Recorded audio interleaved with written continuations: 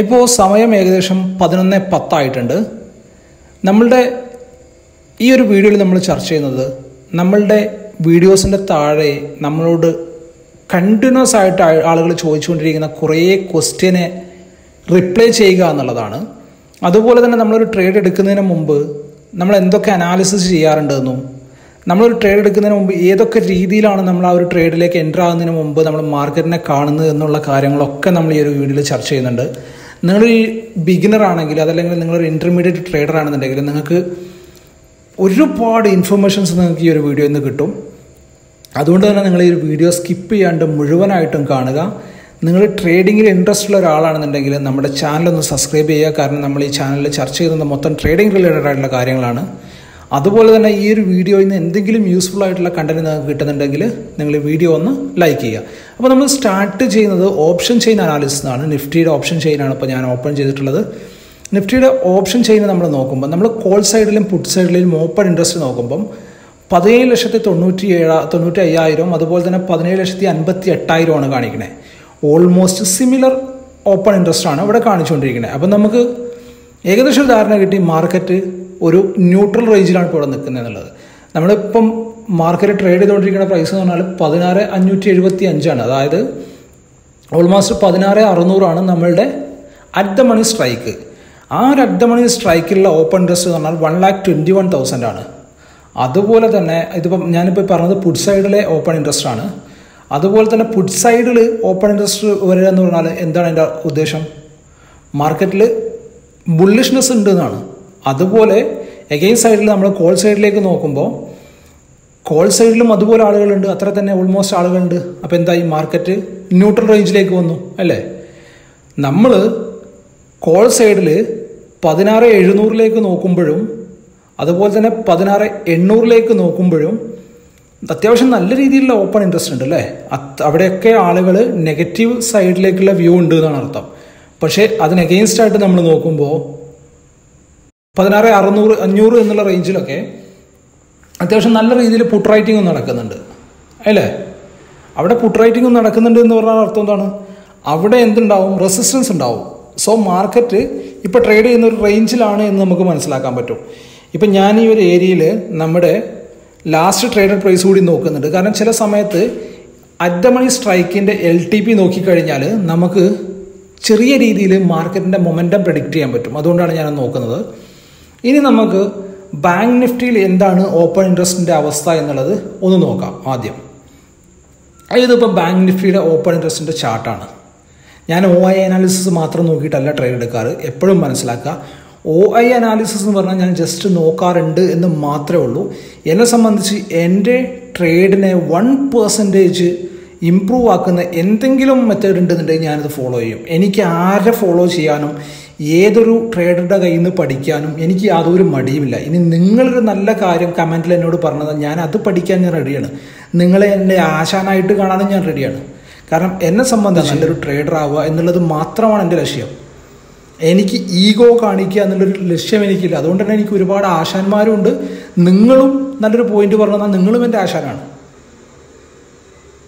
മനസ്സിലാവുന്നുണ്ടോ? എനിക്കൊരു പതിനായിരക്കണക്കിന് ആശാന്മാരുണ്ട് ടു ബി ഫ്രാങ്ക് സത്യമായിട്ട് പറയുകയാണെന്നുണ്ടെങ്കിൽ കാരണം ഞാൻ ആരുടെയൊക്കെ കയ്യിൽ നിന്നാണോ എനിക്ക് വാല്യൂമുള്ള പോയിന്റുകൾ കിട്ടുന്നത് അവരൊക്കെ ഞാൻ ആശാനായിട്ടാണ് കണക്ക് കൂട്ടുന്നത് ഇപ്പോൾ ഈ ഒരു പോയിന്റിൽ നോക്കിയാൽ നമുക്ക് മനസ്സിലാക്കാൻ പറ്റും. ഇവിടെയും ഇത് തന്നെയാണ് സംഭവിക്കണേ. എന്താ സംഭവിക്കണേ?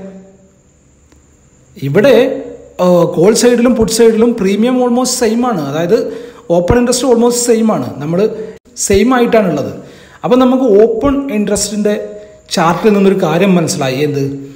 മാർക്കറ്റ്. ഫ്ലാറ്റ് റേഞ്ചിൽ നിൽക്കാനുള്ള ചാൻസ് ഉണ്ട്. ന്യൂട്രൽ റേഞ്ചിൽ നിൽക്കാനുള്ള ചാൻസ് ഉണ്ട്. അടുത്തായിട്ട് നമ്മൾ സ്റ്റോക്കുകളാണ് ബാങ്കിങ് സ്റ്റോക്കുകളാണ് അനലൈസ് ചെയ്യുന്നത്. ഇപ്പോൾ ഈ ഒരു പോയിന്റിൽ നമ്മൾ കൊട്ടക് ബാങ്ക് നോക്കുമ്പോൾ എന്താണ്? കൊട്ടക് ബാങ്ക് ഡേ ലോയിലാണ് ട്രേഡ് ചെയ്തുകൊണ്ടിരിക്കുന്നത് ഇപ്പോൾ ഇത് എസ് ബി എസ് ബി ഐയുടെ ചാർട്ടാണ് എസ് ബി ഐ ഫസ്റ്റ് ഉണ്ടാക്കിയ ആ ഒരു റെസിസ്റ്റൻസ് ബ്രേക്ക് ചെയ്ത് താഴേക്ക് വന്നു. പക്ഷേ അതിന് തൊട്ടടുത്ത് വീണ്ടും ഒരു റെസിസ്റ്റൻസ് ഉണ്ട് അല്ലേ?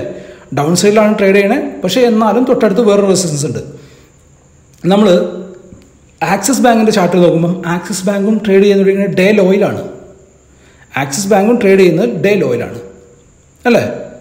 റെസിസ്റ്റൻസ് ബ്രേക്ക് ചെയ്ത് താഴെ വന്നു. പക്ഷേ തൊട്ടടുത്ത് വീണ്ടും ഒരു റെസിസ്റ്റൻസ് ഉണ്ട് എന്നുള്ളതാണ്. നമുക്ക് ഓപ്ഷൻ ചെയിനിൽ റെസിസ്റ്റൻസ് കണ്ടു നമ്മൾ പിന്നെ ഇവിടെയും നമ്മൾ റെസിസ്റ്റൻസ് കണ്ടു. ബാങ്ക് നിഫ്റ്റിയുടെ ചാർട്ടിലും നമ്മൾ റെസിസ്റ്റൻസ് ഉണ്ട്. അതുപോലെ തന്നെ ബാങ്ക് നിഫ്റ്റിന്റെ കോമണൻസിലും നമുക്ക് റെസിസ്റ്റൻസ് ഉണ്ട്. മൂന്ന് സൈഡിലും നമുക്ക് റെസിസ്റ്റൻസ് ആയി. ഐ സി ഐ സി ബാങ്കിൽ നോക്കുമ്പോൾ I C I C bank എല്ലാ ബാങ്കിനേക്കാളും കുറച്ചുകൂടി വീക്കാണ് തൊട്ടടുത്തൊരു റെസിസ്റ്റൻസിലേക്ക് വരാൻ പോകുന്നുണ്ട്. പക്ഷേ എന്നാലും I C I C bank ബാക്കിയുള്ളതിനേക്കാളും വീക്കാണ്. അല്ലേ? പക്ഷേ നമ്മൾ ഈ ഒരു പോയിന്റിൽ H D F C bank നോക്കുമ്പോൾ നമുക്ക് കറക്റ്റായിട്ടൊരു കാര്യം മനസ്സിലാവും.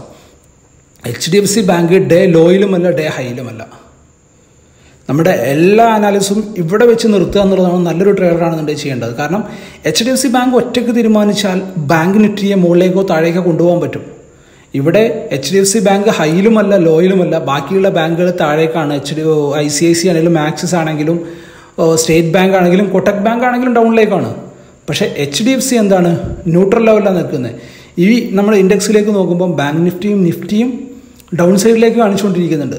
പക്ഷേ ഇവിടെ ട്രേഡ് എടുക്കാൻ അത്ര എന്നെ സംബന്ധിച്ച് എന്റെ അനാലിസിസ് തന്നെ ട്രേഡ് എടുക്കാൻ സമ്മതിക്കില്ല എന്നുള്ളതാണ്.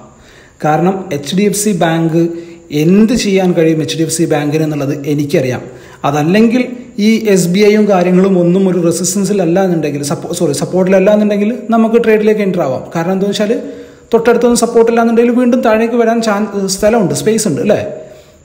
ബാങ്ക് നിഫ്റ്റി നമ്മൾ ഫിഫ്റ്റീൻ മിനിറ്റ് ചാർട്ടിൽ നോക്കുമ്പം പ്രോപ്പറായിട്ട് ഒരു ഡൗൺ ട്രെൻഡിലുള്ളത് അല്ലേ? ഫിഫ്റ്റീൻ മിനിറ്റ് ചാർട്ടിൽ നമ്മൾ ബാങ്ക് നിഫ്റ്റിനെ നോക്കുമ്പം നിഫ്റ്റ് ബാങ്ക് നിഫ്റ്റി ഹയർ ഹൈസും ഹയർ ലോസും ഉണ്ട് ഉണ്ടാക്കിയിട്ട് മുകളിലേക്ക് പോയിക്കൊണ്ടിരുന്നതാണ്. ശരിയല്ലേ? ബാങ്ക് ഹയർ ഹൈസും ഹയർ ലോസും ഉണ്ടാക്കിയിട്ട് മുകളിലേക്ക് പോയി. പക്ഷേ ബാങ്ക് നിഫ്റ്റി അതിനുശേഷം ലോവർ ഹൈസും ലോവർ ലോസും ഉണ്ടാക്കിയിട്ട് താഴേക്ക് തന്നെ വന്നു. ഇങ്ങനെ നിൽക്കുന്ന ഈ ഒരു സിറ്റുവേഷനിൽ മാർക്കറ്റിൽ നമ്മൾ വെറുതെ ഒരു അനാലിസിസ് ചെയ്യുമ്പോൾ നമുക്ക് എന്താണ്? നമുക്ക് മനസ്സിലാവുന്ന ഒരു കാര്യം ഇതാണ്. ബാങ്ക് നിഫ്റ്റി ഇപ്പം നിൽക്കുന്നത് ഹയർ ലോസും ഹയർ ലോസും ഹയർ ഹൈസും ഉണ്ടാക്കി മുകളിലേക്ക് പോയ ബാങ്ക് നിഫ്റ്റി താഴേക്ക് വന്നുകൊണ്ടിരിക്കുകയാണ്. ഷോർട്ട് ചെയ്തോ. ചാടി കയറിക്കോ ട്രേഡിൽ എന്നുള്ളതാണ്. പക്ഷെ അപ്പുറത്ത് നമ്മളുടെ എഗെയിൻസ്റ്റ് നിൽക്കുന്ന ആളുകൾ നമ്മളുടെ എഗെയിൻസ്റ്റ് ട്രേഡ് ചെയ്യാൻ നിൽക്കുന്ന ആളുകൾ ഈ കാണുന്ന അനാലിസിസ് ഒക്കെ ചെയ്യുന്നുണ്ടാവും. അവരോട് ജയിക്കണമെങ്കിൽ അവരെക്കാട്ടിലും ഒരു പടി മുകളിൽ അല്ലെങ്കിൽ അവർ ചെയ്യുന്നത് പോലെ അനാലിസിസ് നമ്മൾ ചെയ്യണം. അല്ലേ?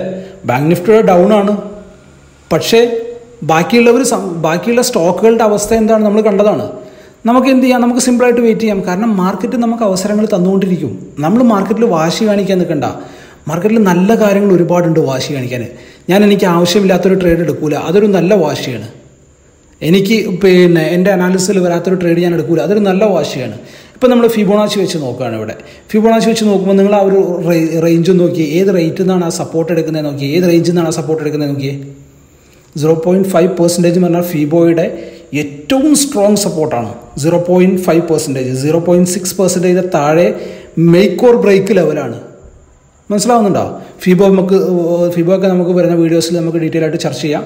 അപ്പോൾ ഫീബോ പ്രകാരവും നമുക്ക് റെസിസ്റ്റൻസ് ഉണ്ട്. അതുപോലെ തന്നെ ഓപ്ഷൻ ചെയിൻ പ്രകാരം നമുക്ക് റെസിസ്റ്റൻസ് ഉണ്ട്. എച്ച് ഡി എഫ് സി നമുക്ക് റെസിസ്റ്റൻസ് ആയിട്ട് വർക്ക് ആവുന്നുണ്ട്. അതുപോലെ തന്നെ നമുക്ക് one year time one hour time ഫ്രെയിമിലേക്ക് നോക്കുകയാണെന്നുണ്ടെങ്കിൽ നമുക്ക് ക്ലിയർ കട്ടായിട്ട് നമുക്കൊരു കാര്യം മനസ്സിലാവും. എന്താണെന്നറിയാം? ബാങ്ക് നിഫ്റ്റി ഹയർ ഹൈസും ഹയർ ലോസും ഉണ്ടാക്കിയിട്ട് മുകളിലേക്ക് പോയിക്കൊണ്ടിരിക്കുകയാണ്. അതായത് ഹയർ ടൈം ഫ്രെയിമിൽ ബാങ്ക് നിഫ്റ്റിയുടെ ട്രെൻഡ് എന്ന് പറയുന്നത് അപ്പാണ് നമ്മളെ സംബന്ധിച്ച് ട്രെൻഡ് ഈസ് അവർ ഫ്രണ്ട് നമ്മൾ വാശി പിടിക്കേണ്ടതെന്ന് നമുക്ക് മാർക്കറ്റ് അവസരം തരും. ഇല്ലെങ്കിൽ വേണ്ട നാളെ മാർക്കറ്റിൽ നേരം വിളിക്കൂലേ. നമുക്ക് നാളെ ട്രേഡ് ചെയ്യാലോ? അതുപോലെ തന്നെ നമ്മൾ എച്ച് ഡി എഫ് സി ബാങ്കിന്റെ വൺ അവർ ടൈം ഫ്രെയിമിൽ നോക്കുമ്പോൾ എച്ച് ഡി എഫ് സി ബാങ്കും ക്ലിയർ കട്ട് ഹയർ ഹൈസും ഹയർ ലോസും ഉണ്ടാക്കിയിട്ട് മുകളിലേക്ക് പോയിക്കൊണ്ടിരിക്കുക പക്ഷേ മുകളിൽ റെസിസ്റ്റൻസ് ഉണ്ട്. ഹയർ ഹൈസും ഹയർ ലോസും ഉണ്ടാക്കിയിട്ട് H D F C bank മുകളിലേക്ക് പോകാൻ ട്രൈ ചെയ്യുന്നുണ്ട്. പക്ഷേ എച്ച് ഡി എഫ് സി ബാങ്കിന് മുകളിൽ റെസിസ്റ്റൻസ് ഉണ്ട്. അല്ലേ? അപ്പോൾ ഈ ഒരു പോയിന്റിൽ നമ്മൾ വെറുതെ ഒരു ട്രേഡിലേക്ക് ചാടി കയറുന്നത് എത്രത്തോളം മണ്ടത്തരമാണെന്ന് നമ്മളൊന്ന് ആലോചിച്ച് നോക്കിയാൽ മതി. നമ്മൾ നമ്മൾ വിചാരിച്ചാൽ നമുക്കൊരു ട്രേഡർ ആകാൻ പറ്റും. നമ്മുടെ ഇമോഷൻസ് കൺട്രോൾ ചെയ്യാൻ നമുക്ക് പറ്റിയാൽ മതി. ഇപ്പം നമ്മൾ അനാലിസിസ് ചെയ്യുമ്പോൾ നമ്മൾ നേരത്തെ പറഞ്ഞതുപോലെ നമ്മളുടെ എഗെയിൻസ്റ്റ് നിൽക്കുന്ന അവർ അനാലിസിസ് ചെയ്യുന്നതിനെക്കാട്ടിലും സ്ട്രോങ് ആയിട്ട് നമുക്ക് അനാലിസിസ് ചെയ്യാൻ പറ്റണം. ഇപ്പോൾ ഫീബോ എടുത്തിട്ട് ഫീബോയിൽ ഇവിടെ നമ്മൾ സ്ട്രോങ് ആയിട്ടൊരു റെസിസ്റ്റൻസ് കാണുന്നുണ്ട്. അല്ലേ? Zero point five percent strong resistance ആയിട്ട് നമ്മൾ കാണുന്നുണ്ട്. പിന്നെ ആ ഒരു സെക്കൻഡിൽ പിന്നെ നമ്മൾ ട്രേഡിലേക്ക് ചാടി കയറേണ്ടെന്നേ വാശി പിടിക്കേണ്ട. നമ്മൾ ഈ ഒരു ലോട്ടോ ഒന്നോ രണ്ടോ പത്തോ പതിനഞ്ചോ ലോട്ടോ വെച്ചിട്ട് അല്ലെങ്കിൽ ഒരു ആയിരം ലോട്ടോ വെച്ചിട്ട് നമ്മൾ എന്തിനാണ് മാർക്കറ്റിനോട് വാശി പിടിക്കണേ? നിങ്ങൾ ഓപ്ഷൻസിന്റെ അല്ലെങ്കിൽ നമ്മുടെ ഫ്യൂച്ചേഴ്സിന്റെ ചാർട്ട് ഒന്ന് എടുത്ത് നോക്കിയേ. ഓരോ അഞ്ച് മിനിറ്റിലും ബാങ്ക് നിഫ്റ്റിയിൽ ട്രേഡ് ചെയ്യുന്ന വോളിയം എത്രയാണെന്ന് നോക്കിയേ. ഇത്രയും വോളിയം ട്രേഡ് ചെയ്യുന്നതിനിടയിൽ നമ്മൾ ഈ ഒരു അഞ്ചോ പത്തോ ലോട്ട് കൊണ്ടു ചെന്നിട്ട് ഞാൻ വിളിക്കുന്നിടത്തേക്ക് മാർക്കറ്റ് വരുന്ന പറയുന്നതിൽ എന്തെങ്കിലും ലോജിക്ക് ഉണ്ടാവും. ഇല്ലല്ലോ? നമ്മൾ വെറുതെ മാർക്കറ്റിനോട് കുസ്തി പിടിക്കണ്ട. മാർക്കറ്റ് പോകുന്ന പാട്ടിൽ പോട്ടെ. മാർക്കറ്റ് മുകളിലേക്ക് പോകണമെന്നുണ്ടെങ്കിൽ മോനെ ഞാനും വരുന്നുണ്ട് മുകളിലേക്ക്. മാർക്കറ്റ് താഴേക്കാണെന്നുണ്ടെങ്കിൽ ഞാനും വരുന്നുണ്ട് കൂട്ടുകാരെ താഴേക്ക്. എനിക്ക് എന്തെങ്കിലും ചില്ലറ തന്നാൽ മതി. ആ ചില്ലറ എടുത്ത് വടിയായിക്കോളുക സ്കൂട്ടായിക്കോളുക നമുക്ക് കിട്ടാവുന്നത് എടുത്തിട്ട് നമ്മൾ മാറിക്കോളുക. അല്ലേ? അതാണ് നമുക്ക് ചെയ്യാൻ പറ്റുന്ന സേഫ് സൈഡിൽ നമുക്ക് ചെയ്യാൻ പറ്റുന്ന കാര്യം എന്ന് പറയുന്നത്. നമ്മളിപ്പോൾ ഇത്രയും അനാലിസ് ചെയ്തപ്പോൾ കാര്യങ്ങൾ നിങ്ങൾക്ക് മനസ്സിലായി എന്ന് വിശ്വസിക്കുന്നു. നമ്മൾ എന്തൊക്കെ അനാലിസിസ് ആണ് ഓരോ പ്രാവശ്യം നമ്മൾ ചെയ്യുന്നത് എന്നുള്ളത്. ഇപ്പോൾ ഈ ഒരു സെക്കൻഡിൽ എനിക്ക് മാർക്കറ്റിൽ എന്റെ വ്യൂ എന്താണെന്ന് വെച്ചാൽ ഞാൻ ബുള്ളിഷും അല്ല അല്ല. ഞാൻ ബൈയിങ്ങിനുമില്ല സെല്ലിങ്ങിനുമില്ല മാർക്കറ്റ് എങ്ങോട്ടാന്ന് വെച്ചാൽ പോയിക്കോ എനിക്കൊരു കുഴപ്പമില്ല. ഞാൻ സൈഡിൽ നിന്നിട്ട് കളി കണ്ടോളാം. ഈ ഒരു പോയിന്റിൽ എന്റെ അനാലിസിസ് അതാണ്. ഞാനിവിടെ വന്നിട്ട് ചുമ്മാ കളി കണ്ടോളാം. നിങ്ങൾക്ക് വേറെ ഇൻട്രസ്റ്റിംഗ് അനാലിസിസ് ഞാൻ കാണിച്ചു തരാം. ഇപ്പോൾ ഈ ഒരു പോയിന്റിൽ കണ്ടോ മാർക്കറ്റ് എത്ര പോയിന്റ് മുകളിലേക്ക് ട്രാവൽ ചെയ്ത് നോക്കിയത് നിങ്ങൾ ആയിരത്തി ചിലാൻ പോയിന്റ് മാർക്കറ്റ് മുകളിലേക്ക് ട്രാവൽ ചെയ്തു അല്ലേ? രണ്ടായിരം സോറി രണ്ടായിരത്തി ചിലാൻ പോയിന്റ് മാർക്കറ്റ് മുകളിലേക്ക് ട്രാവൽ ചെയ്തു. ആയിരം പോയിന്റ് മാർക്കറ്റ് വീണ്ടും ഡൗണിലേക്ക് ട്രാവൽ ചെയ്തു. അല്ലേ? അതുപോലെ തന്നെ വീണ്ടും മാർക്കറ്റ് എന്തായി? രണ്ടായിരത്തി അഞ്ഞൂറ് പോയിന്റോളം മാർക്കറ്റ് വീണ്ടും മുകളിലേക്ക് ട്രാവൽ ചെയ്തു. അപ്പോൾ എന്താണ് ചാൻസ് ഉള്ളത്? അതിന് മുമ്പ് സംഭവിച്ച കാര്യം തന്നെ മാർക്കറ്റ് വീണ്ടും താഴേക്ക് വരാനുള്ള ചാൻസ് വളരെ കൂടുതലാണ്. ഇല്ലേ? അതുകൊണ്ട് തന്നെ ബൈയിങ്ങിന് ഞാൻ എന്തായാലും റെഡിയല്ല ഈ ഒരു പോയിന്റ് ഓഫ് ടൈമിൽ സെല്ലിങ്ങിനും ഞാൻ റെഡിയല്ല അതുകൊണ്ട് ഞാൻ ഈ ഒരു സമയത്ത് മിണ്ടാതിരിക്കാനാണ് തീരുമാനിക്കുന്നത്. മനസ്സിലാവുന്നുണ്ടെന്ന് വിചാരിക്കണം എല്ലാവർക്കും മനസ്സിലാവുന്നുണ്ടെന്ന് വിചാരിക്കണോ നമ്മളായിട്ട് പ്രഷർ ചെയ്തൊരു ട്രേഡ് ഉണ്ടാക്കിയെടുക്കേണ്ട കാര്യമില്ല. ഇപ്പോൾ ഓൾമോസ്റ്റ് ടൈം പതിനൊന്ന് നാൽപ്പത്തി എട്ടായിട്ടുണ്ട് ഇപ്പോൾ നമ്മുടെ നമ്മുടെ അടുത്ത് ഒരുപാട് കൂട്ടുകാർ ചോദിച്ച ക്വസ്റ്റ്യൻസ് ആണ്. എങ്ങനെയാണ് ടാർഗറ്റും സ്റ്റോപ്പ് ലോസും പ്ലേസ് ചെയ്യണത് ഫയേഴ്സിൽ എങ്ങനെ പ്ലേസ് ചെയ്യണം അപ്സ്റ്റോക്സിൽ എങ്ങനെ പ്ലേസ് ചെയ്യുന്നതൊക്കെ നമ്മുടെ അടുത്ത് ഒരുപാട് ആൾക്കാർ ചോദിച്ചിട്ടുണ്ട്. ഈ ഒരു സെക്കൻഡിൽ സ്ട്രൈക്ക് പ്രൈസ് എങ്ങനെ ചൂസ് ചെയ്യാന്നുള്ളത് ഞാൻ പറഞ്ഞുതരാം. ഇപ്പോൾ ഈ ഒരു പോയിന്റിൽ ഞാൻ സ്ട്രൈക്ക് പ്രൈസ് ചൂസ് ചെയ്യുന്നത് നിങ്ങൾ ഏതാ നോക്കിക്കോളൂ. ഇത് ഞാൻ നിങ്ങൾക്ക് ട്രേഡ് കാണിച്ചു തരാൻ വേണ്ടി എടുക്കുന്ന ട്രേഡാണ് ലാഭം ഉണ്ടാക്കാൻ എടുക്കുന്ന ട്രേഡല്ല അതുകൊണ്ട് ഇതിലെ ലാഭവും നഷ്ടവും ഇതിലെ ബാക്കി കാര്യങ്ങളൊന്നും നിങ്ങൾ നോക്കണ്ട. അനാലിസിസ് നോക്കി. ഇപ്പം ഞാൻ സ്ട്രൈക്ക് സെലക്ട് ചെയ്യുന്നത് നൂറ് രൂപയുടെ താഴെയുള്ള സ്ട്രൈക്കാണ് നിങ്ങൾ എപ്പോഴും ഒരു ബിഗിനർ ആണെന്നുണ്ടെങ്കിൽ നിങ്ങൾ എന്ത് ചെയ്യാമെന്നറിയോ നൂറ് രൂപയുടെ താഴെയുള്ള സ്ട്രൈക്ക് സെലക്ട് ചെയ്യാം. ബിഗിനറാണ് ട്രേഡിംഗ് പഠിക്കാൻ ആഗ്രഹിക്കുന്ന ആളാണെന്നുണ്ടെങ്കിൽ. നമുക്ക് ടെലിഗ്രാമിലൊക്കെ നമ്മളോട് ഫ്രണ്ട്സ് ചോദിച്ചിട്ടുണ്ടായിരുന്നു. അവർക്കുള്ള ഒരു റിപ്ലൈ ആണിത്. നിങ്ങളൊരു ബിഗിനർ ആണെന്നുണ്ടെങ്കിൽ എപ്പോഴും നൂറ് രൂപയുടെ താഴെയുള്ള സ്ട്രൈക്ക് സെലക്ട് ചെയ്യുക എന്നുള്ളതാണ്. കാരണം ഈ നൂറ് രൂപയുള്ള താഴെയുള്ള സ്ട്രൈക്ക് ഒരിക്കലും ഇന്നോ നാളോ നാളെയോ മറ്റന്നാളോ സീറോ ആവില്ല. ഇത് സീറോ ആവാനായിട്ട് അടുത്ത വ്യാഴാഴ്ച വരെ സമയമുണ്ട്. അതുകൊണ്ട് തന്നെ ഈ ഒരു സമയത്ത് അതിനകത്ത് മൂവ്മെന്റ് കുറവായിരിക്കും. നിങ്ങൾക്ക് ഉണ്ടാകുന്ന ലാഭം ഓഫ് കോഴ്സ് കുറവായിരിക്കും. പക്ഷേ നിങ്ങൾക്ക് നഷ്ടം ഉണ്ടാവില്ല നിങ്ങൾ നഷ്ടമില്ലാണ്ട് നോക്കിയാൽ മതി ഇനീഷ്യൽ സ്റ്റേജിൽ ഇപ്പം നമ്മൾ എന്ത് ചെയ്യാണ്? മുപ്പത്തിയേഴ് ഒരുന്നൂറിന്റെ ഫാർ അപ് ടു മണിയിൽ പ്രീമിയം സെലക്ട് ചെയ്യാണ്. എന്നിട്ട് ഫയൽസിൽ നമ്മൾ ഇവിടെ ഒരു ബൈ ഓർഡർ പ്ലേസ് ചെയ്യാണ്. നിങ്ങൾക്ക് എല്ലാവർക്കും മനസ്സിലാ മനസ്സിലാവുന്നുണ്ടെന്ന് വിചാരിക്കുന്നു. നമ്മൾ ഫയൽസിൽ എന്ത് ചെയ്യാണ്? ഒരു ബൈ ഓർഡർ സിയിൽ ഞാൻ ഈ ഒരു പോയിന്റിൽ പ്ലേസ് ചെയ്യാണ്. എന്റെ ട്രേഡ് അവിടെ ആക്റ്റീവായി നിങ്ങൾ കാണുന്നില്ലേ? ആ ഒരു പോയിന്റിൽ എന്റെ ട്രേഡ് ആക്റ്റീവായി അല്ലേ? ഇപ്പോൾ ഈ ഒരു പോയിന്റിൽ നോക്കുകയാണെന്നുണ്ടെങ്കിൽ നമ്മൾ ട്രേഡ് നമ്മൾ പ്ലേസ് ചെയ്തു. നമ്മുടെ ഓർഡർ നമ്മളുടെ പോർട്ട്ഫോളിയോയിലേക്ക് വന്നിട്ടുണ്ട്. അതിനുശേഷം നമുക്ക് രണ്ട് രീതിയിൽ ഈ ട്രേഡിൽ നിന്ന് എക്സിറ്റ് ആവാം. ഒന്നെങ്കിൽ നമുക്ക് ഇവിടുന്ന് ക്ലോസ് പൊസിഷൻ അടിച്ചു കഴിഞ്ഞാൽ നമുക്ക് ഡയറക്റ്റ് മാർക്കറ്റ് ഓർഡറായിട്ട് ഈ ട്രേഡ് നമുക്ക് എക്സിറ്റ് ആവാം. അല്ലേ? അതൊരു രീതിയാണ് ചെയ്യാനായിട്ട്. അതല്ലെങ്കിൽ നമുക്ക് എന്ത് ചെയ്യാം? സ്റ്റോപ്പ് ലോസ് ഇട്ടിട്ട് നമുക്ക് എക്സിറ്റ് ആവാം. ഇപ്പം ഞാൻ ആ ഒരു ട്രേഡിൽ നിന്ന് ഫസ്റ്റ് നമ്മളെടുത്ത ട്രേഡിൽ നിന്ന് ഞാൻ എക്സിറ്റ് ആയി. പക്ഷേ ഞാനത് റെക്കോർഡ് ചെയ്യാൻ വിട്ടുപോയി. ഈ ഒരു പോയിന്റിൽ നമ്മൾ വീണ്ടും ആ ഒരു പിന്നെ ആ ട്രേഡിന്റെ പോർട്ട്ഫോളിയോ നോക്കിക്കഴിഞ്ഞാൽ നമുക്ക് ഓൾമോസ്റ്റ് ഒരു ചെറിയൊരു പ്രോഫിറ്റ് നമ്മൾ ഉണ്ടാക്കിയിട്ടുണ്ട്. നമ്മൾ ആദ്യം പറഞ്ഞു ഈ ഒരു ട്രേഡ് നമ്മൾ എടുക്കുന്നത് പ്രോഫിറ്റും ലോസും ഉണ്ടാക്കാനല്ല എന്നുള്ളത്. അപ്പോൾ ആ ഒരു ട്രേഡ് ബുക്ക് ചെയ്തിട്ടുണ്ട്. ബൈ ഓർഡറും സെൽ ഓർഡറും നിങ്ങൾ കണ്ടല്ലോ അല്ലേ? ആ ഒരു ഏരിയയിൽ വെച്ചിട്ട് ഞാൻ ഒരു ട്രേഡിലേക്ക് എന്ററായി മാർക്കറ്റിൽ ബൈ ചെയ്തു മാർക്കറ്റിൽ സെൽ ചെയ്തു. അതെങ്ങനെയാണ് നിങ്ങൾ എല്ലാവരും കണ്ടു അല്ലേ? അതുപോലെ തന്നെ നമുക്ക് വേറൊരു ഓർഡർ ടൈപ്പിൽ എന്ത് ചെയ്യാം? സ്റ്റോപ്പ് ലോസ് ഇട്ടിട്ട് നമുക്ക് ട്രേഡ് ചെയ്യാം. ഇപ്പം ഞാൻ ഈ ഒരു പോയിന്റിൽ ഞാൻ വീണ്ടും ഒരു വൺ ലോട്ട് വൺ ലോട്ട് എന്ന് പറയുന്നത് അതും കൂട്ടുകാർ ചോദിച്ചിട്ടുണ്ടായിരുന്നു. വൺ ലോട്ട് എന്ന് പറയുന്നത് ബാങ്ക് നിഫ്റ്റിയുടെ മിനിമം ക്വാണ്ടിറ്റിയാണ് ട്വന്റി ഫൈവ് ക്വാണ്ടിറ്റി നിഫ്റ്റിയിലാവുമ്പോൾ അത് ഫിഫ്റ്റി വരും. ഓക്കെ നമുക്ക് സ്റ്റോക്ക് എടുക്കുന്നത് പോലെ ഒന്നോ രണ്ടോ മൂന്നോ എണ്ണമായിട്ട് എടുക്കാൻ പറ്റില്ല. ഇതൊരു മിനിമം ഒരു ലോട്ട് എടുക്കണം എന്നുള്ളതാണ്. ഇപ്പം ഞാൻ വീണ്ടും ഒരു മാർക്കറ്റ് ഓർഡർ ഞാൻ പ്ലേസ് ചെയ്തു. ഞാൻ സാധാരണ മാർക്കറ്റ് ഓർഡറാണ് പ്ലേസ് ചെയ്യാറ്. അതുകൊണ്ടാണ് ഞാൻ വീണ്ടും മാർക്കറ്റ് ഓർഡറിനെ പ്ലേസ് ചെയ്തത്. ലിമിറ്റ് ഓർഡർ പ്ലേസ് ചെയ്യാനൊക്കെ നിങ്ങൾക്ക് അറിയുമെന്ന് വിചാരിക്കുന്നു. അതൊക്കെ സിമ്പിളായിട്ട് നമുക്ക് ചെയ്യാവുന്ന കാര്യമാണ്. ഇനി ഈ ഒരു കേസിൽ നമ്മൾ എങ്ങനെയാണ് ടാർഗറ്റും എസ് എല്ലും പ്ലേസ് ചെയ്യണമെന്ന് നോക്കാം. നമുക്ക് ആ ഒരു ടൂൾ അതിനകത്ത് തന്നെ ഉണ്ടല്ലോ. ആ ഒരു ടൂൾ എടുത്തിട്ട് നമ്മൾ ടാർഗറ്റ് എത്രയാണ് എസ് എൽ എത്രയാണെന്നുള്ളത് തീരുമാനിച്ചു. അല്ലേ? നമുക്ക് വൺ ഇസ് ടു നമുക്ക് ടാർഗറ്റായിട്ട് കിട്ടണം. നമ്മൾ എടുക്കുന്ന റിസ്കിന്റെ ഇന്റു ടു നമുക്ക് ടാർഗറ്റായിട്ട് കിട്ടണം. അല്ലെങ്കിൽ ഇന്റു വൺ പോയിന്റ് ഫൈവ് എങ്കിലും എന്തായാലും നമുക്ക് കിട്ടണം. അങ്ങനെയാണെങ്കിൽ നമ്മളുടെ എസ് എല്ലും കാര്യങ്ങളൊക്കെ വന്നാലും നമുക്ക് നമ്മുടെ ട്രേഡ് മാനേജ് ചെയ്ത് കൊണ്ടുപോകാൻ പറ്റുള്ളൂ. അപ്പോൾ അതിനുശേഷം ഞാനിവിടെ സെല്ല് ഓർഡറിലേക്ക് വന്നു. ആ ഒരു കോർണറിൽ പോയി കഴിഞ്ഞാൽ പ്ലസ് ബട്ടൺ പ്രസ് ചെയ്ത് കഴിഞ്ഞാൽ നമുക്ക് അവിടുന്ന് സെൽ ഓർഡറിലേക്ക് വരാം. അതിനുശേഷം നമുക്ക് ആ ഒരു ടിക്കുള്ളത് അൺടിക്ക് ചെയ്ത് കൊടുക്കുക എന്നുള്ളതാണ് ആദ്യം. സെറ്റ് അറ്റ് മാർക്കറ്റ് പ്രൈസ് എന്നുള്ള അൺടിക്ക് ചെയ്ത് കൊടുക്കുക. എന്നിട്ട് നമ്മൾ പ്രൈസ് സെലക്ട് ചെയ്യാം പ്രൈസ് സെലക്ട് ചെയ്തതിന്റെ തൊട്ട് ഇപ്പുറത്തുള്ള ട്രിഗർ പ്രൈസ് എപ്പോഴും പ്രൈസിനെക്കാട്ടിലും അൻപത് പൈസയെങ്കിലും കൂടുതലായിട്ട് സെറ്റ് ചെയ്യുക. ട്രിഗർ പ്രൈസ് എപ്പോഴും പ്രൈസിനെക്കാട്ടിലും അൻപത് പൈസയെങ്കിലും കൂടുതലായിട്ട് സെറ്റ് ചെയ്യണം. അതായത് ട്രിഗർ ആവണം ആദ്യം. ആദ്യം ട്രിഗർ ആയി അതിനുശേഷം സ്റ്റോപ്പ് ലോസ് ആയി. മനസ്സിലായ ലോജിക്ക് ഈ ഒരു സമയത്ത് നമുക്ക് ഇതെങ്ങനെ മോഡിഫൈ ചെയ്യാം? അല്ലെങ്കിൽ എങ്ങനെ ക്യാൻസൽ ചെയ്യാം എന്നുള്ളത് നോക്കാം. നമ്മളിപ്പോൾ ഈ ഒരു ഓർഡറിൽ വന്നു കഴിഞ്ഞാൽ വർക്കിംഗ് എന്നുള്ള പോർഷനിൽ വന്നു കഴിഞ്ഞാൽ ആ ഒരു ഓർഡർ നമുക്ക് അവിടെ കട്ട് ചെയ്യാൻ പറ്റും. ആ ഒരു ഓർഡർ നമുക്ക് അവിടെ ഒഴിവാക്കാൻ പറ്റും. ആ ഒരു ഓർഡർ നമ്മൾ വീണ്ടും അവിടെ പ്ലേസ് പ്ലേസ് ചെയ്തിട്ടുണ്ട്. അതിനുശേഷം നമ്മൾ എന്ത് ചെയ്തു? ഇത് തന്നെ ഞാൻ അപ്സ്റ്റോക്സിൽ ഒന്ന് കാണിച്ചു തരാണ് എങ്ങനെയാണ് അപ്സ്റ്റോക്സിൽ ട്രേഡ് എടുക്കുന്നത് എന്നുള്ളത്? അപ്സ്റ്റോക്സിൽ അതേ സ്ട്രൈക്ക് തന്നെയാണ് ഞാൻ ആഡ് ചെയ്തേക്കുന്നത് നയന്റി റുപ്പീസാണ് സ്ട്രൈക്ക് പ്രൈസ് ഞാൻ വാങ്ങിക്കുകയാണ്. ഇവിടെ മാർക്കറ്റ് പ്രൈസിൽ വാങ്ങിച്ചു. അതിനുശേഷം നമുക്ക് എന്ത് ചെയ്യാം? നമ്മുടെ പോർട്ട്ഫോളിയോയിലേക്ക് പോകാം. പോർട്ട്ഫോളിയോയിൽ ഇപ്പം ആ ഒരു സ്റ്റോക്ക് വന്നിട്ടുണ്ട് അല്ലേ? ആ സ്റ്റോക്ക് വന്ന് അതിന്റെ മൂമെന്റ് കാണിച്ചുകൊണ്ടിരിക്കുന്നുണ്ട്. ഈ ഒരു ഏരിയയിൽ നിന്ന് എക്സിറ്റ് പൊസിഷൻ എടുത്തിട്ട് നമ്മൾ മാർക്കറ്റ് എന്നുള്ളത് കണ്ടല്ലേ നിങ്ങൾ അതിന് പകരം എസ് എൽ ലിമിറ്റ് ആയി കൊടുക്കുക. നേരത്തെ നമ്മൾ ചെയ്തതുപോലെ നമ്മുടെ സ്റ്റോപ്പ് ലോസ് എത്രയാണോ നമ്മൾ സെറ്റ് ചെയ്യാൻ പോണത് അത് അടിച്ചു കൊടുക്കുക. അതിനേക്കാളും അമ്പത് പൈസയെങ്കിലും കൂട്ടിയിട്ട് ട്രിഗർ പ്രൈസ് അടിക്കുക റിവ്യൂ കൊടുക്കുക പ്ലേസ് കൊടുക്കുക. ഇപ്പം നമ്മൾ എന്തായി? ട്രിഗർ പെൻഡിങ് എന്ന് പറഞ്ഞിട്ട് ഓർഡർ കാണിക്കുന്നുണ്ട്. ഓർഡർ ബുക്കിൽ പോയി കഴിഞ്ഞാൽ ട്രിഗർ പെൻഡിങ് എന്ന് പറഞ്ഞിട്ട് ഓർഡർ കാണിക്കുന്നുണ്ട്. അല്ലേ? ഇത് നമ്മുടെ സ്റ്റോപ്പ് ലോസ് ഓർഡറാണ് ഈ ഒരു ഏരിയയിൽ എത്തിക്കഴിഞ്ഞാൽ എന്തായാലും പ്രൈസ് എക്സിറ്റ് ആവും. ഞാനിവിടെ മോഡിഫൈ ചെയ്തിട്ട് മാർക്കറ്റ് പ്രൈസിൽ ഞാൻ ഈ ഒരു ട്രേഡിൽ നിന്ന് എക്സിറ്റ് ആവുകയാണ്. എന്റെ പ്രോഫിറ്റ് എത്തിക്കഴിഞ്ഞാൽ എനിക്കിങ്ങനെ എക്സിറ്റ് ആവാൻ പറ്റും. അല്ലേ? അതുപോലെ തന്നെ ഞാൻ ഒരു ഒരു പ്രാവശ്യം കൂടി ഞാൻ കാണിച്ചു തരാം. ചെറിയ എന്തായാലും നമുക്ക് പ്രത്യേകിച്ച് വേറെ ട്രേഡുകളൊന്നുമില്ല അതുകൊണ്ട് വീണ്ടും ഞാനൊരു ട്രേഡ് എടുത്തു. ഒരു ട്രേഡിലേക്ക് എന്റർ ആയി. ശ്രദ്ധിച്ച് കാണാം ഒന്നുകൂടി റിവേഴ്സ് ചെയ്ത് കാണുക. മനസ്സിലായിട്ടില്ലെങ്കിൽ. എന്ത് ചെയ്തു? ഞാൻ ഈ ഒരു പോയിന്റിൽ എന്റെ ടാർഗറ്റും സ്റ്റോപ്പ് ലോസും സെറ്റ് ചെയ്യാൻ പോവാണ്. ഇപ്പം ഈ ഒരു പോയിന്റിൽ ഞാൻ എന്റെ ടാർഗറ്റും സ്റ്റോപ്പ് ലോസും സെറ്റ് ചെയ്യാൻ പോവാണ്. മനസ്സിലാവുന്നുണ്ടോ?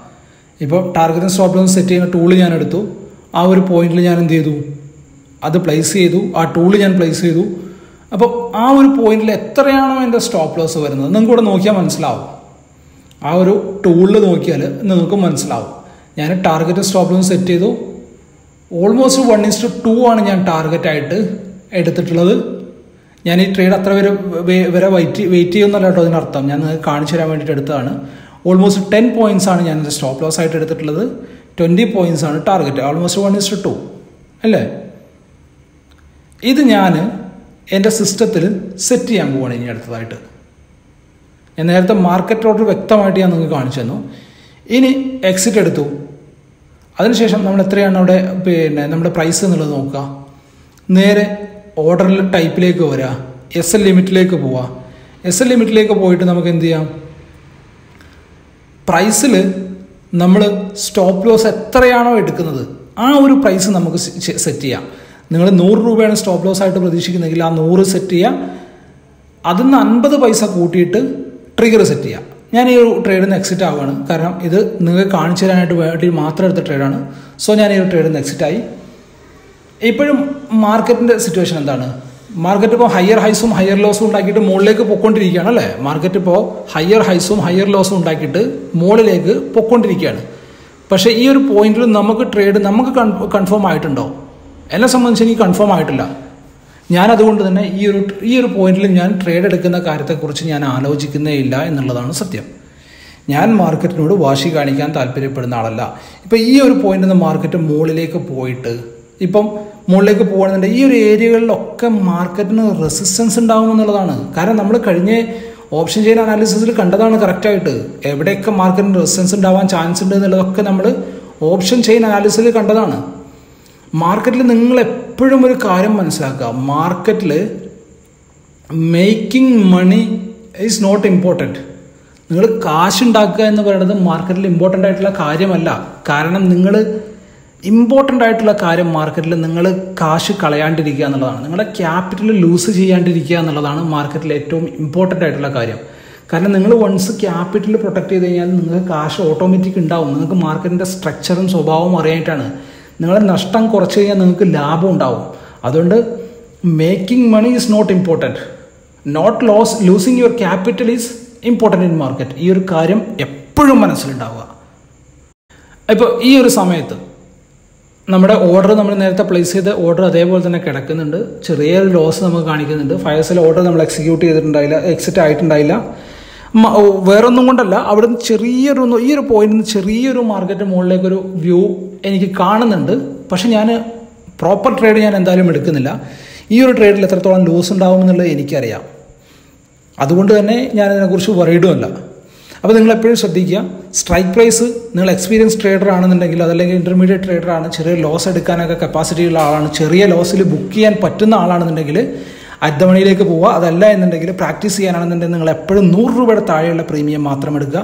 നിഫ്റ്റിയെ സംബന്ധിച്ച് നോക്കുകയാണെന്നുണ്ടെങ്കിൽ നിഫ്റ്റിയിൽ എപ്പോഴും ഒരു അൻപത് രൂപയുടെ നിയറസ്റ്റ് നിയറസ്റ്റ് ആയിട്ടുള്ള പ്രീമിയത്തിൽ മാത്രം ട്രേഡ് ചെയ്യുക എന്നുള്ളതാണ്.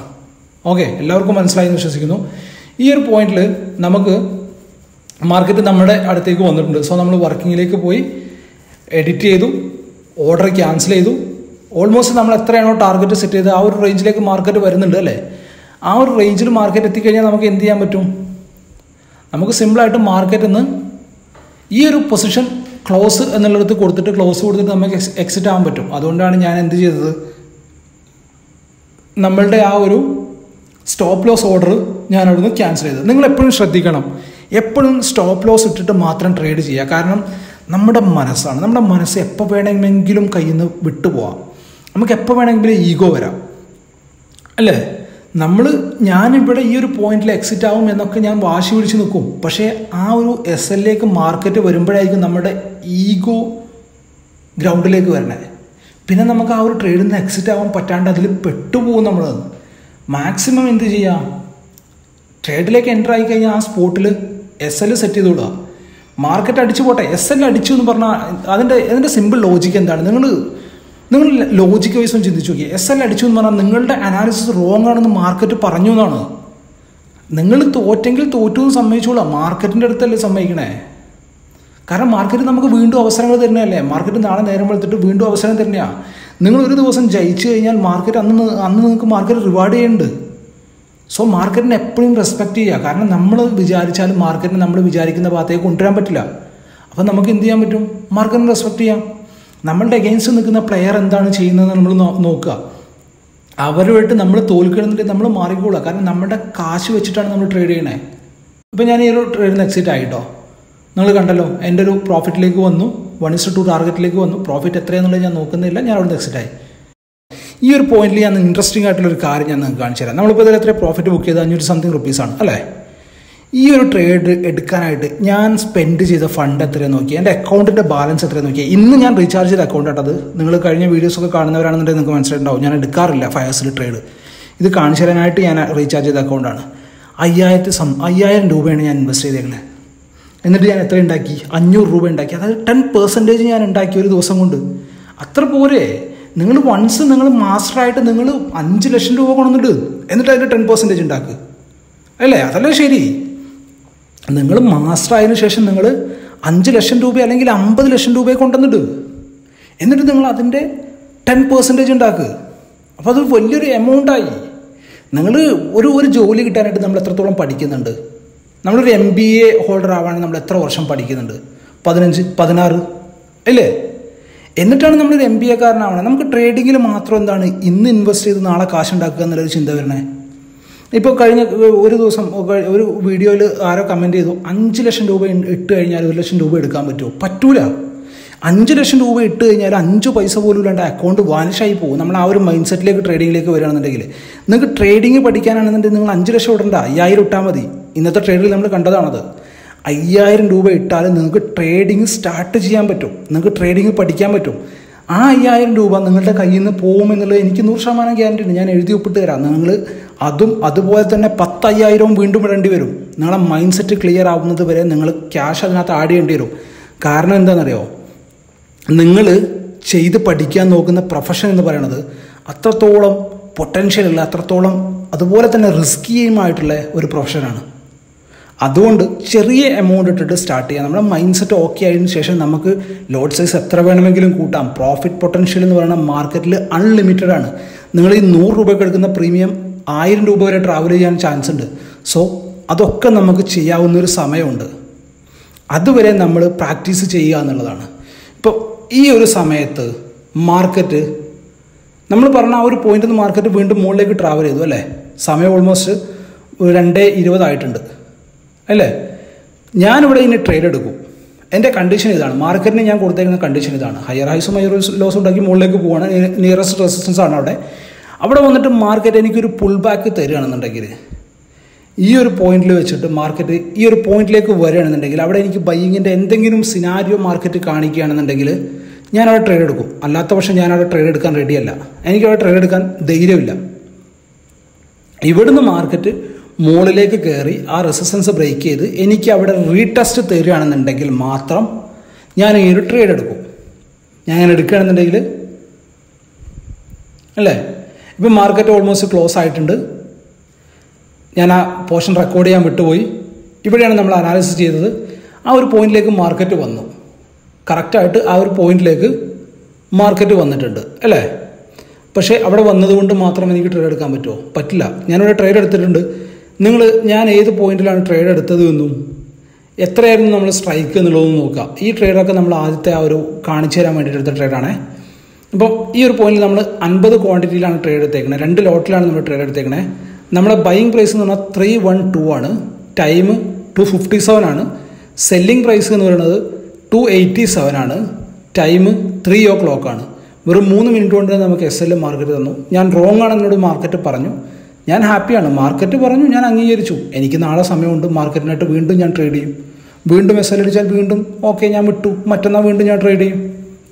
ഈ ഒരു ട്രേഡിൽ നമ്മൾ എടുത്തേക്കുന്ന സ്റ്റോപ്പ് ലോസ് എന്ന് പറയുന്നത് മുപ്പത് പോയിന്റ് ഏകദേശം മുപ്പത് പോയിന്റാണ് ആയിരത്തി ഇരുന്നൂറ്റി സംതിങ് റുപ്പീസാണ് നമ്മൾ ഇന്നത്തെ ട്രേഡിൽ ലോസ് ഉണ്ടാക്കിയിരിക്കുന്നത് രണ്ട് ലോട്ട് ട്രേഡ് ചെയ്തിട്ട് ആയിരത്തി ഇരുന്നൂറ്റി സംതിങ് റുപ്പീസാണ് നമ്മൾ ലോസ് ഉണ്ടാക്കിയിരിക്കുന്നത് മനസ്സിലാവുന്നുണ്ടോ? രണ്ട് ലോട്ടിൽ ട്രേഡ് ചെയ്തിട്ട് ആയിരത്തി ഇരുന്നൂറ് സംതിങ് റുപ്പീസ് എന്ന് പറഞ്ഞാൽ ഒരു ലോട്ടിൽ അറുപത് അറുന്നൂറ് രൂപ മാത്രമേ നമുക്ക് ലോസ് വന്നിട്ടുള്ളൂ. ഇവിടെ നമ്മൾ പറഞ്ഞ അനാലിസിസ് പ്രകാരം മാർക്കറ്റ് നമ്മുടെ അനാലിസിസിലേക്ക് വന്നു. ടൈം കാണുന്നുണ്ടോ നിങ്ങൾ രണ്ട് അൻപത്തി ഏഴ് അല്ലേ? നമുക്ക് വൺ മിനിറ്റിന്റെ ക്യാൻഡിൽ പോയിട്ട് ഈ ഒരു ഇതൊന്ന് ക്ലിയർ ആയിട്ട് ആദ്യം. ഈ ഒരു വൺ മിനിറ്റിന്റെ ക്യാൻഡിൽ പോയിട്ട് നമുക്കൊന്ന് നോക്കാം. അവിടെ ബ്രേക്ക് ഔട്ട് തന്നതുകൊണ്ട് അവിടെ റീടെസ്റ്റ് തന്നതുകൊണ്ടാണോ ഞാൻ ട്രേഡ് എടുത്തത്? ഇതാണ് ആ ക്യാൻഡിൽ ആ ചെറിയ നടുവിൽ കാണുന്ന ആ ക്യാൻഡിലാണ് നമ്മുടെ അൻപത്തി ഏഴിന്റെ ക്യാൻഡിൽ എന്ന് പറയുന്നത്. ബ്രേക്ക് ഔട്ട് തന്നതും റീടെസ്റ്റ് തന്നതും മാത്രമല്ലായിരുന്നു എന്റെ ട്രേഡിന്റെ ലോജിക്ക് എന്ന് പറയുന്നത്. ആ ഒരു റെസിസ്റ്റൻസിന് ശേഷം ഞാനൊരു ട്രെൻഡ് ലൈൻ പ്ലേസ് ചെയ്തു. ആ ഒരു ട്രെൻഡ് ലൈനിൽ എനിക്ക് പ്രോപ്പറായിട്ടൊരു ബ്രേക്ക് ഔട്ട് കിട്ടി. ആ ഒരു ബ്രേക്ക് ഔട്ടിന്റെ മുകളിലേക്ക് ക്യാൻഡിൽ വരുന്നു എന്ന് തോന്നിയ സമയത്താണ് ഞാൻ എന്റെ ട്രേഡ് പ്ലേസ് ചെയ്യുന്നത്. ഞാൻ എന്ത് ചെയ്തു? എന്റെ അനാലിസിസ് പ്രകാരം മാർക്കറ്റ് വന്നു. ഞാനവിടെ ട്രേഡ് പ്ലേസ് ചെയ്തു അതിന്റെ താഴെ എസ് എൽ പ്ലേസ് ചെയ്തു. മാർക്കറ്റ് എസ് എൽ അടിച്ചു. എനിക്കൊരു കുഴപ്പമില്ല എനിക്ക് മാർക്കറ്റിനോട് വാശിയില്ല. അതിനുശേഷം ഞാൻ താഴേക്ക് ട്രേഡ് എടുക്കാൻ നിൽക്കുന്നില്ല. കാരണം എന്റെ അനാലിസിസ് റോങ് ആണെന്ന് മാർക്കറ്റ് പറഞ്ഞു. അതിനുശേഷം ഞാൻ താഴേക്ക് ട്രേഡ് എടുക്കണമെന്നുണ്ടെങ്കിൽ ഞാൻ രാവിലെ ചെയ്ത അതേ എക്സസൈസ് അത് വീണ്ടും ചെയ്തിട്ട് വേണം എനിക്ക് താഴേക്ക് ട്രേഡ് എടുക്കാനായിട്ട്. എനിക്ക് തോന്നുന്ന പോലെ എനിക്ക് ട്രേഡ് എടുത്തിട്ട് വേറൊരു റിസൾട്ട് ഞാൻ എക്സ്പെക്ട് ചെയ്യാൻ പറ്റില്ല. ഞാൻ ഈ ഒരു പോയിന്റിൽ ട്രേഡ് എടുത്തു. മാർക്കറ്റ് എന്റെ അനാലിസിസ് പ്രകാരം എനിക്ക് തന്ന ആ ഒരു പോയിന്റിൽ ഞാൻ ട്രേഡ് എടുത്തു. മാർക്കറ്റ് മുകളിലേക്ക് പോകുന്ന പ്രതീക്ഷിച്ചു. മാർക്കറ്റ് എന്ത് ചെയ്തു? അവിടുന്ന് താഴേക്ക് വന്നു. ഞാൻ എസ് എൽ ഇട്ടു. എന്റെ എസ് എൽ മാർക്കറ്റ് അവിടെ ഹിറ്റാക്കി മാർക്കറ്റ് താഴേക്ക് വന്നു. ഈ വീഡിയോയിൽ ഇത്രയും കാര്യങ്ങളാണ് നമ്മൾ ചർച്ച ചെയ്യുന്നത്. നിങ്ങൾക്ക് എല്ലാവർക്കും വീഡിയോ ഇഷ്ടപ്പെട്ടു എന്ന് വിചാരിക്കുന്നു. അങ്ങനെ നിങ്ങൾക്ക് വീഡിയോ ഇഷ്ടപ്പെട്ടിട്ടുണ്ടെങ്കിൽ ഈ വീഡിയോ ലൈക്ക് ചെയ്യുക. അതുപോലെ തന്നെ നമ്മുടെ ചാനലൊന്ന് സബ്സ്ക്രൈബ് ചെയ്യുക. ട്രേഡിംഗ് റിലേറ്റഡ് ആയിട്ടുള്ള കാര്യങ്ങളാണ് നമ്മൾ ഈ ചാനൽ ഡിസ്കസ് ചെയ്യുന്നത് ഡിസ്ക്രിപ്ഷൻ ബോക്സിൽ നമ്മുടെ ടെലിഗ്രാമിന്റെ ലിങ്ക് ഇരിക്കുന്നുണ്ട്. ടെലിഗ്രാം നമ്പർ ഇരിക്കുന്നുണ്ട്. നിങ്ങൾക്ക് കോൺടാക്റ്റ് ചെയ്യാൻ പറ്റുന്നതാണ് ആ നമ്പറിൽ അപ്പോൾ നമുക്ക് അടുത്തൊരു പുതിയ വീഡിയോ ആയിട്ട് നമുക്ക് വീണ്ടും കാണാം. ബൈ